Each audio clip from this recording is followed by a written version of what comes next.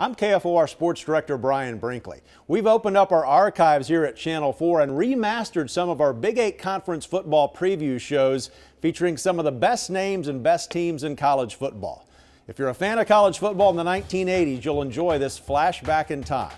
You're watching KFOR's College Football Flashback.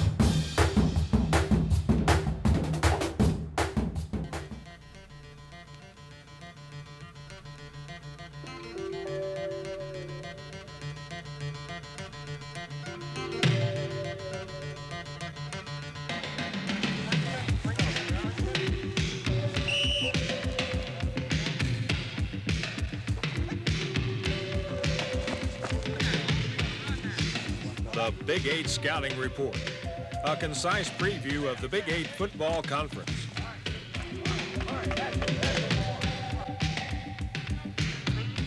Now here's Bob Barry, Robbie Robertson, and Bob Barry Jr.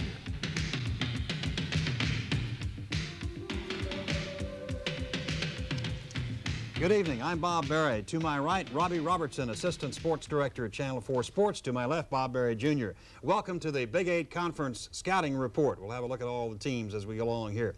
Bob Jr., you and uh, Larry Warner, our photographer, just got back from the Big Eight Skywriters Tour. Is the conference on the upswing, you think? I think so, Dad. I think more teams are improved this year, and the balance of the league is incredible. Nobody knows who will finish where. Robbie, I have a feeling maybe passing will be more seen this year in the Big Eight. I think so. OU says they're going to pass more. The two new coaches in the league say they're going to pass the football. So I, th I think college football is moving to the passing game. I would certainly agree. And our first teams to look at, the Colorado Golden Buffaloes and the Kansas State Wildcats, or is it Mildcats? we'll have a look after this message.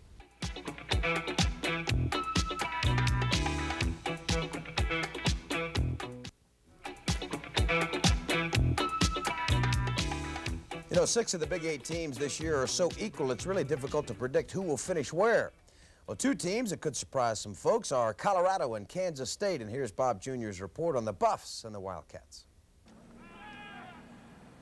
The mountain-facing Colorado's football program is slowly being climbed, thanks to the efforts of second-year leader Bill McCartney. The former Michigan assistant had enough problems just finding time to meet his players a year ago, but despite only two wins, his think positive approach has really paid off. I believe that if a guy is a, takes the attitude that he's going to reject and cast out negative thoughts and see himself having success, that he has that much better chance of having success. And so that's what we're trying to do here. We're trying to learn to think like winners before we can actually be winners. The Buffs' weaknesses are both glaring and familiar. They have no depth and too much inexperience across the offensive and defensive lines. Colorado must run the ball a whole lot better than last year's bunch, which wound up last in the Big Eight in rushing per game. Given a decent running game, quarterback Steve Vogel might be pretty effective. The six-foot-four junior started in both of last year's victories, and his arm is anything but weak. Tight end Dave Hestera was the Big Eight's second leading receiver, and he reported 30 pounds heavier this fall, which should boost his blocking ability. The best player on the team is cornerback Victor Scott, a preseason All-American who has started all but one game in his three years at CU. With Scott and several others making up a tough secondary, the Golden Buffaloes don't feel like they'll be taken for granted this time around. Despite all of the enthusiasm here in Boulder, Colorado must now prove to the Big Eight that they're better than a last-place team. If you remember, Kansas State used to be a ball club that always sat on the floor of the league. But the Wildcats started proving themselves in 1982. All right, that's good. lineup right here on this line for blow delivery. The most surprising blows delivered by Kansas State last year were a fourth-place Big Eight finish and their first ever bowl game appearance. But quarterback Daryl Dickey is gone, so these three players are battling for a starting position. The one who played high school football in Edmond appears to be the front runner right now. I feel like it's helped me become a better player. You know, the competition. Each day we go out and, and they just push me more, and and uh, the desire for me to become a better, you know, quarterback is increased because of the competition. And I just look at it from a positive standpoint and, and, go out there and just try to do the best I can. The best thing Bogue can do is throw the ball to his excellent receivers, including all Big Eight star Mike Wallace, who specializes in catching touchdown passes. But Kansas State's offensive line has been hammered by graduation and injuries. The defense will be tough up front with All-American candidate Reggie Singletary, number 98, making the big plays once again. But the secondary is highly suspect, and this will mess things up. A good home schedule and a little bit of luck will have to come into play if Kansas State wants to remain in the league's first division. Well, I tell you what, Kansas State's reputation really improved when they went to the Independence Bowl last year, but repeating a bowl game appearance, that, that could be a little bit tougher. And Bill McCartney at Colorado, he's got his team thinking they can beat anybody in the world. But you know, there are two new coaches in the Big Eight this year, one at Iowa State and one at Kansas. Coaches, we need to do a much, much better job of driving on the football defensively. We're not doing a real good job of driving the ball now. Get them keen the quarterback, getting a good jump. Sell and teach explosion on the ball. 43-year-old Jim Criner is Iowa State's new football coach. As you can tell by the tape recorder, he's a model of organization, and he's used to winning. Unfortunately, the team he's taking over is used to fast starts and horrible finishes. Naturally, the former Boise State boss is working his team very hard to avoid the late season blues. I'd like to have another month to continue to work on it, but uh, I think we've made a lot of headway. And I think that, that the strength, the overall physical conditioning will allow a team to improve on its level of performance each week. It'll allow you to avoid some injuries and allow you to, rehab to rehabilitate faster when you do get an injury. This Iowa State team will be the league's youngest, so inexperience on the offensive line will make things much tougher for quarterback David Archer, one of the leading passers in Cyclones history. Bruising linebacker Chris Washington faces a similar problem on defense. He, too, will play behind a bunch of rookies. But if anybody can solidify a defense, it's number 54. He's a bona fide all-star. With the departure of record-setting place kicker Alex Giffords and the dismissal of punter Kelly Goodburn, the kicking game is also very questionable. So Jim Criner's most difficult job here at Iowa State will be to develop a competitive program using plenty of youngsters. In contrast, the league's other new coach in Lawrence, Kansas, takes over a team that returns more starters than any club in the Big Eight. A good one. Former Cincinnati coach Mike Gottfried can't wait to begin his career at Kansas. He has 20 starters back, he's changed the defense to a six-man front, and he's not afraid to do something differently on offense. This is our philosophy. We're going to throw the football and be a, try to be a wide-open football team, but we also know we got to run it, too. Uh, we've got to be able to have some kind of mix, but uh, it's just a philosophy we've always had.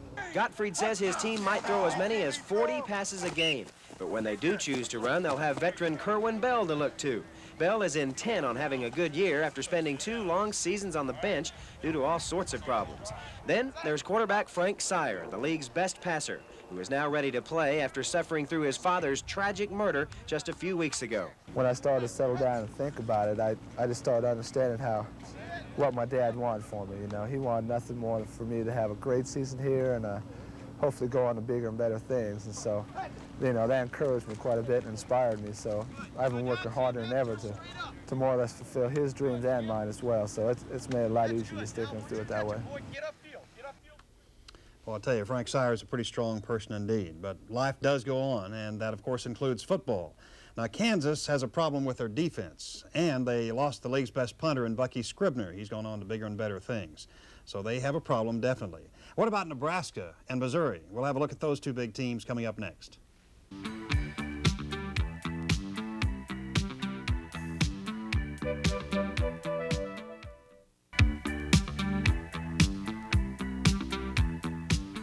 We all know that Nebraska has won the Big Eight championship two years in a row, but Missouri is the team that hasn't made a serious bid in a long time. Now, both of these teams have rich football traditions, so this season will be an important one for both schools.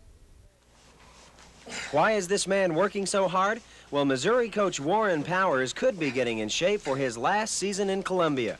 Powers is in the final year of his contract, and after last year's frustrating 5, 4, and 2 finish, the pressure appears to be mounting. When I first went to work, the first job I had, the first year, coach told me that uh, uh, that if we didn't win, we're in trouble, and that was Bob Devaney. I was working for him at Nebraska, and he had two six and four years, and they're ready to get rid of him. So uh, I think that's something you constantly live with. However, I'm not, you know, I'm not in, uh, in deep trouble at the University of Missouri. I don't have a, a, a thing to put on us. We've been fairly successful, but I'm not satisfied with what we've done here either. Missouri will operate out of the I this year, and their new running backs are so talented, they've moved both of last year's leading rushers to new positions. Quarterback Marlon Adler won the three-way battle for the starting job, and the new formation will make him a very crafty rollout passer. The defense, oddly enough, will be Mizzou's soft spot. The ends, led by number 96 Bobby Bell, will carry most of the load, but the line and secondary are light on experience. The good news for Powers is seven home games, including Oklahoma, Oklahoma State, and Nebraska. So even though there are questions, Missouri should still be a first division team. Of course, here in Lincoln, having witnessed Nebraska's destruction of Penn State last week, it looks like Coach Tom Osborne's team could be well on their way to a third straight Big Eight championship. All Big Eight quarterback Turner Gill and do everything wingback Irving Fryar dazzled the defending national champions in Monday night's 44-6 laugher. Add to this combination All-American I-back Mike Rozier, and it's no wonder why Tom Osborne calls this group the best backfield he's ever coached. Uh, Mike Rozier, I think, uh, has some hopes of winning the Heisman Trophy, but hopefully he's more intent on playing well as a team player.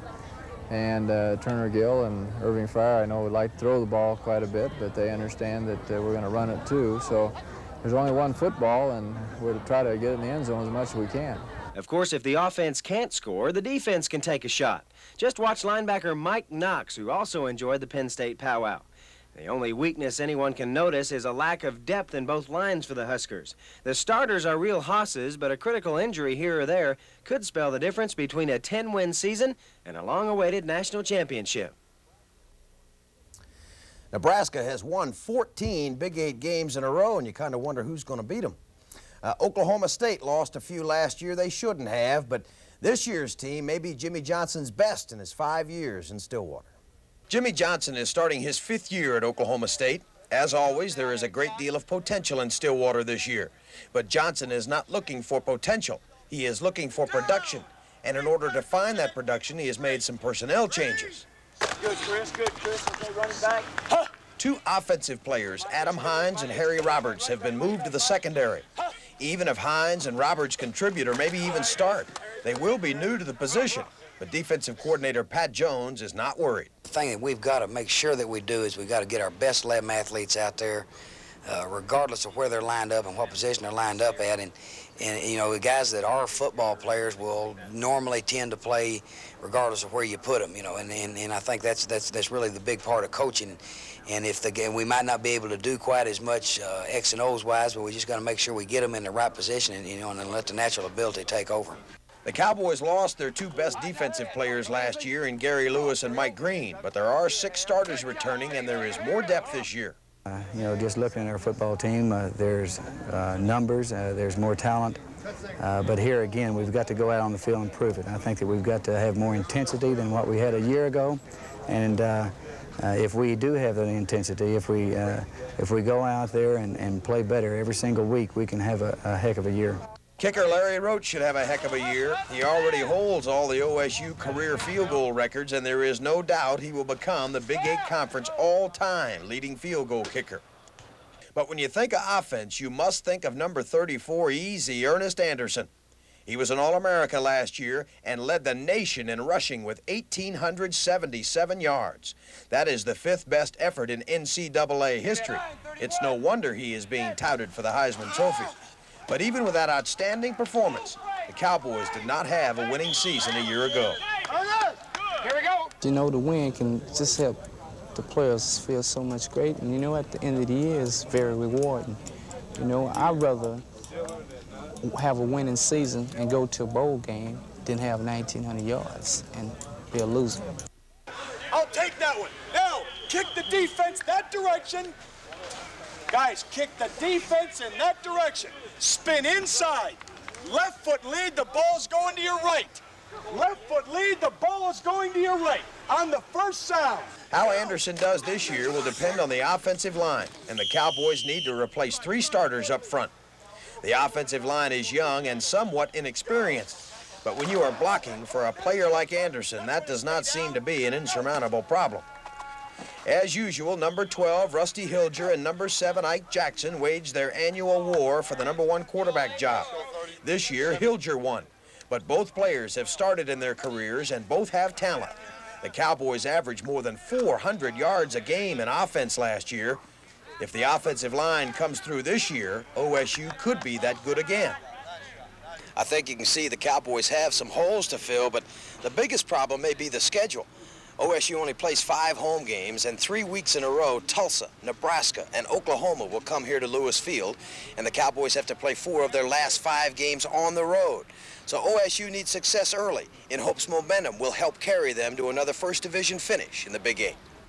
Robbie, I would agree with that. How important is it to Oklahoma State to have an established starting quarterback as they do in Rusty Hilger? Well, I think it'll help them immensely. The team believes in both Jackson and Hilger, but they're glad that a decision has been made and they know each week that this guy's going to lead the team. I think it'll help them.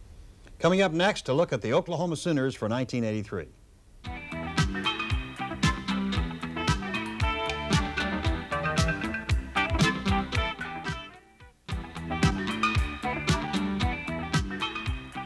I think the Oklahoma Sooners have the best chance of ending Nebraska's championship reign, but the Sooners' non-conference schedule could be one of the toughest in the country with Stanford, Ohio State, Tulsa, and uh, Texas.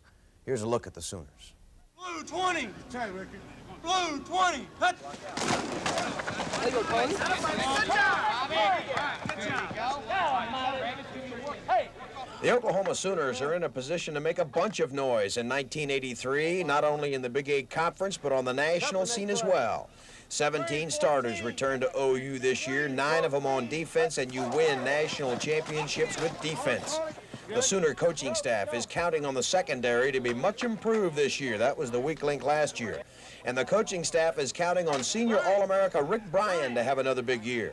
Bryan is wearing number 74 in practice, but he will wear the familiar number 80 in the games. Bryan will have a bunch of senior buddies with him. OU could start eight seniors on defense in the Stanford game, and seniors aren't supposed to beat themselves. So OU is looking for victories this year and lots of them.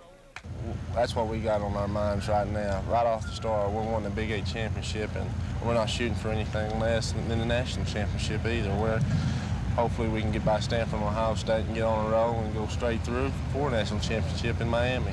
If the Sooners end up in Miami, that will mean they have won the Big Eight Conference Championship, something they have failed to do the past two years. Not only will OU have to play well on defense, which they are equipped to do, they'll have to put some points on the board. And that leads us to number 22. Marcus Dupree was the best freshman player in America last year. He's been all over the magazine covers this year as a Heisman Trophy candidate. He has been the center of controversy, or at least a hot topic, ever since he arrived in Norman. And now he is saying it would be nice to rush for 2,000 yards and be the first sophomore to ever win the Heisman Trophy. If you're Marcus Dupree, I guess those goals could be pretty realistic. Anything can happen in football today. Uh, uh, teams are so equal now, and uh, 2,000 yards would be great, and the Heisman Trophy would be great. But uh, it's something that you know, only good Lord can provide, and uh, you have got to have faith in Him.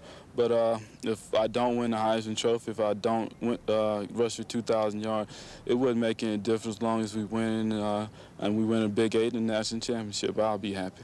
There is no doubt Dupree can run with a football, and with the entire offensive line returning, with the exception of Dr. Death, Steve Williams, Dupree should be able to find some running room.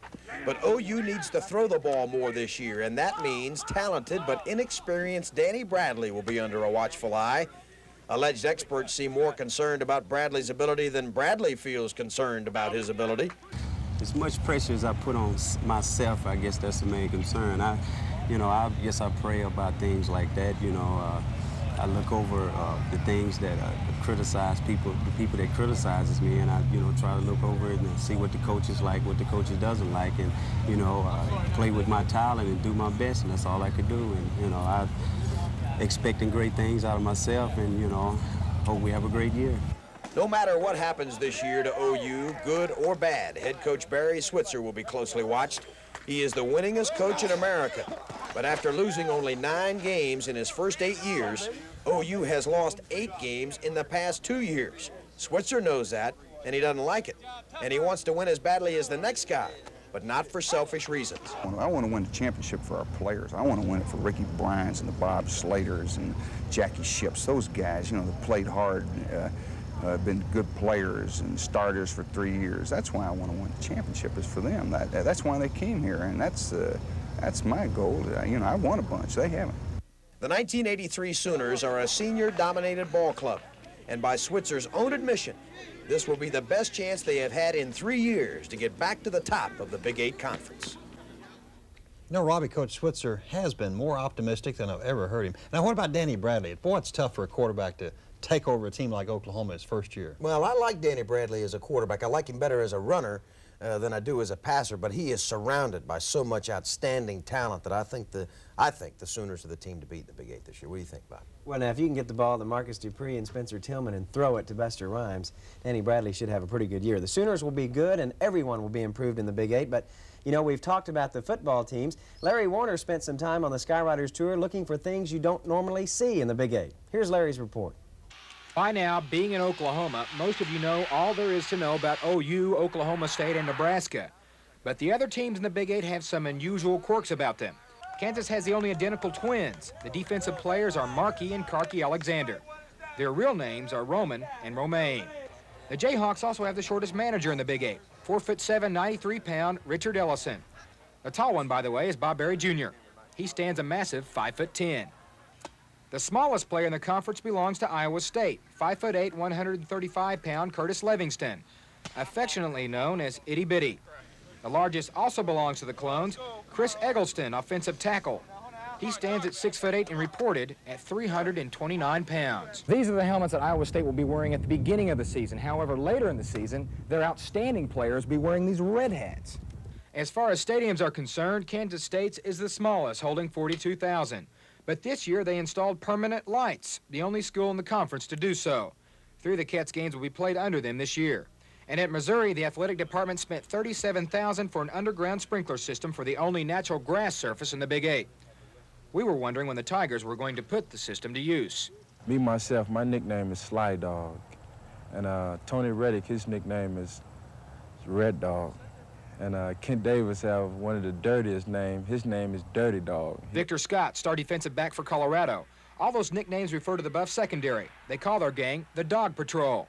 The Cyclones call their defensive backfield the Nasty Dogs. At any rate, it should be a dog-eat-dog world for the 1983 Big Eight football season. Now, how will they finish? What do you think, Robbie? I think Oklahoma will win the championship, Nebraska second, Oklahoma State third, and pick the rest. No, I'd agree with you. Only I think Kansas is the surprise team, and they could crop up in there in third place or fourth. Well, I don't agree with you. I think Kansas is going to be lower. I think Kansas State will be the surprise team. I think Nebraska will win the conference. Other than that, we're all in agreement. uh, I think it'll be a great Big Eight season. We hope you follow that season right here on Channel 4 Sports. Good evening, everyone.